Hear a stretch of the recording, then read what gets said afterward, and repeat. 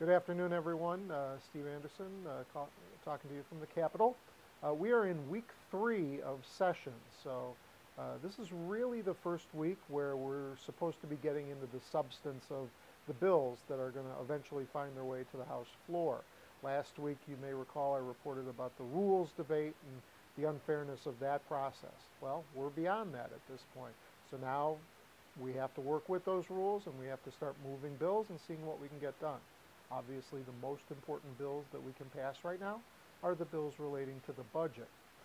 I wish I could report to you that there's more movement and there's more energy here on that topic. The Senate is working very hard. I think that the House should be doing the same thing. We don't have to wait for the Senate. We could be negotiating right now. And unfortunately, that doesn't appear to be happening. Uh, literally, there's probably about 2,500 bills that have been filed in the last uh, three weeks. Uh, and just as, a, as an example, I was in the first committee meeting that I attended so far this session. That was the Judicial Civil Committee meeting, which I'm a minority spokesman for. And out of the bills that could have been called, one was called. One. And it wasn't a budget bill and it wasn't anything substantial. So the movement here is pretty glacial.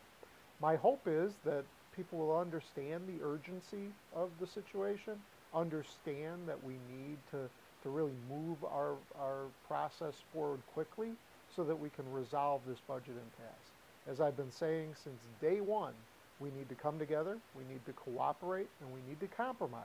It's not a dirty word, we have to do it. And so that's going to be the rest of my week is pushing that agenda forward, pushing that compromise, and hopefully getting people to start to talk. So uh, with that, I'll keep you updated. Appreciate you listening to the video blog, and we'll talk to you soon. Take care.